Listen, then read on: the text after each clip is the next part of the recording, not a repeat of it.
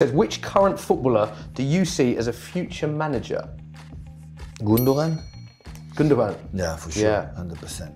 I can see that as well, actually. Just I'm just interested to know that, that insight. Why why him? I'm a good guy to choose the good managers. The players know, but the managers I'm good to say this will be good. Yeah. And Gundo will be good. Just because of his leadership qualities and, and things Yeah, like that. so many things. Understand the game. He communicate good. Is well respected. Yeah. Has passion.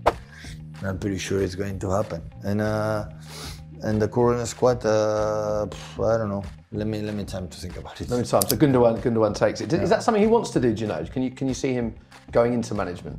I would love it. Yeah. So now we are a period that they have a managers again, like uh, they were my players. So now I realize I'm getting old.